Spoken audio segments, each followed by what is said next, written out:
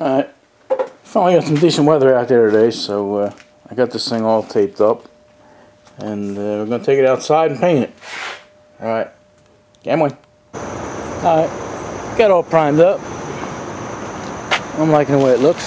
So, uh, we say we give it a first coat. Alright, all painted up and dry and uh, ready to go back together here. And uh, came out nice. Matter of fact, uh, too nice you know, it's funny when you paint something like this where you really don't care too much and uh, you just want to get a decent job on it and uh, it actually comes out perfect, you know. I mean, no dirt, no dust, no leaves, no nothing. And then when you get something that uh, you want right, man, that's all you get is runs and dirt and bugs and, you know, you can't win. Alright, so uh, let's try and get this back up on its wheels and uh, put the deck back on it and everything else and you know, get it ready to to roll. All right, all right. The front fork's on and uh, the wheel mounted and stuff like that, so uh, we're good to go up here. Got the deck on and the bearing. Flip it over and uh, put the jack shaft in. All right, got the jack shaft in, and uh, I did have a little trouble with it because I guess when little dirt bike welded down here, it created so much heat that it pulled them, you know, and they were all misaligned, so I had to get the plastic rubber hammer and uh, persuade them to come back a little bit. But uh, they're all lined up and uh, we're spinning good. So, all right, let's try and put the back wheel on. All right, yeah, I was cleaning up this wheel and all the fittings and stuff to put it on, and uh, I went to turn it here, and it's, I don't know if you can hear that. I'll be real quiet. But uh, them bearings are pretty much shot, and I don't even know how to get them out of there. I'll figure it out, but uh, it don't look like a size I have. But it really puts a turd in the bed, huh? Alright, let me see what I can do with that and uh, we'll figure it out. So, uh, that's going to slow us down a little bit. Alright, alright, here's where we're at. Uh, I took this sprocket off and uh, I also looked in here and uh, got the numbers off of that bearing. And from the looks of it I'm gonna have to split this wheel this rim to get them bearings out. They don't go in from the outside. It looks like they go in from the inside so that's uh, something I didn't want to get into.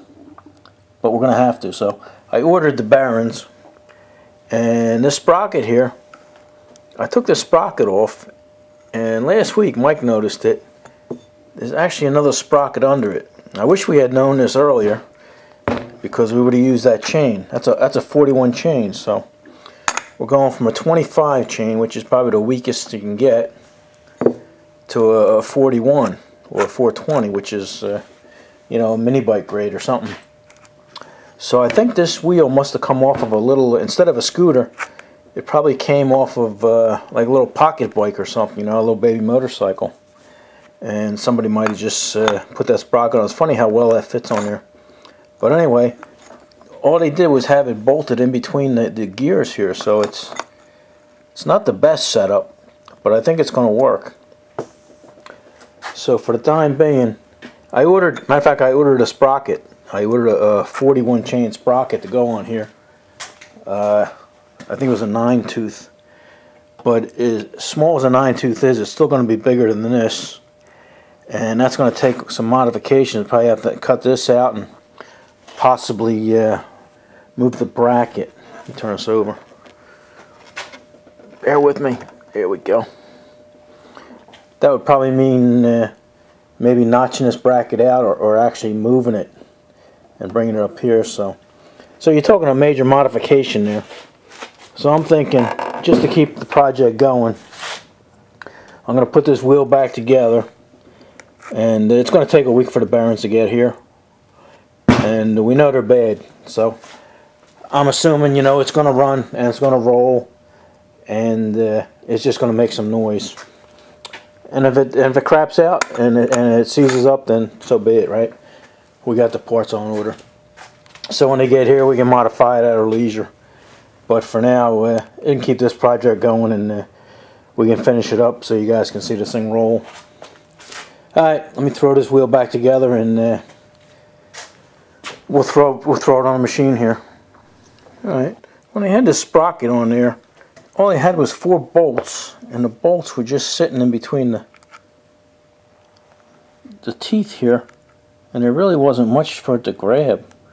So what I'm doing is uh, I'm making a plate so I can stick it behind it. I'll cut this little section out here and that'll give it it'll it'll clamp that whole side and that'll uh, that'll make me feel better and I, I know it won't fail. But right now it, it's just set up for failure so. Even though it's only to be temporary might as well uh, have it so it works. I already drilled the holes. Now I just got to uh, got to cut this little center out here and make another one. Alright alright I made a couple clamps. Even something like this you know this little little stuff like this. This it take a couple, uh, maybe an hour and a half, you know, to cut and shape and, uh, you know, make it fit. Let's see if it works. Of course, is going to go on the bottom like this and clamp it up, but uh, this will tell me if, if everything is where it belongs. That's why the overhead valve, stuff like that, you know, takes long and uh, during summertime we just don't have time to work on that. You know, we got the shows and see this little little stuff like these scooters and stuff. We can knock these out. We can spend a half hour uh, or an hour at a time. There we go. All right, so that'll that'll work nice. All right.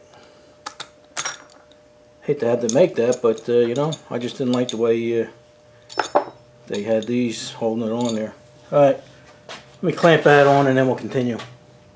All right, yeah, I'm much happier with that setup than uh, what was on there. Like I say, somebody had just done that to, uh, I guess, to, to put it on a scooter. Uh, yeah, so it's a lot safer that way because, uh, you know, uh, that, that would break at uh, just the right time when you're over pavement and we'd throw the chain and the chain would get stuck and lock the wheel up and you wind up going over the handlebars and not pretty. Alright let's uh, slap this together. This here's the brake. Pretty uh, interesting, pretty simple. You know, it's just a band brake they put in there. I don't know how long it's going to last with the big heavy person on there, but uh,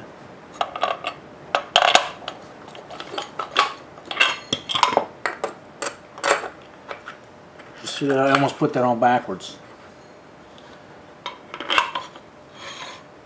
You know what? I almost forgot the spacer spacer. Then the brake. Now we'll put a washer. And then another uh, D-washer. And then a adjuster. And then a maybe a nut. And on this side, my stone, my stone frame, put the spacer. I think it's all goes over here. Put a washer.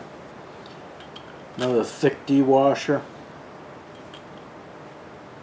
An outside washer.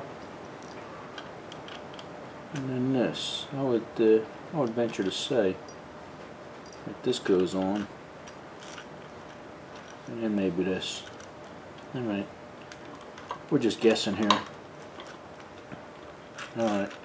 This actually spins and it's going to roll. It's going to roll fine but I think it it's only got one bad bearing. I mean, they're both bad, but one is one is real bad, and uh, it it might just run roll on the axle, free roll. So uh, just enough so we can get it uh, tested and make sure it works and stuff. So, all right, let me throw it on a little scooter. All right, there we go. Get the back wheel on. Got the chains all lined up and stuff. Uh, I didn't cut this chain and put a link in it yet, but uh, there's plenty there. Got the bolts ready for the engine. Got the steering wheel on. All ready to go. Alright. So, all we have to do is uh, hook up a brake, brake cable and brake handle and a throttle and slap this uh, engine together. The gas tank came out good. I'm happy with that. Look at that. You can't even tell where that uh, big dent was. Oh, there it is. There it is on the other side there. Still looks good. Alright. Yeah, this ain't gonna be much of a video, but uh, that's all we got for you. So, uh, what do you say? Enough of this? Alright.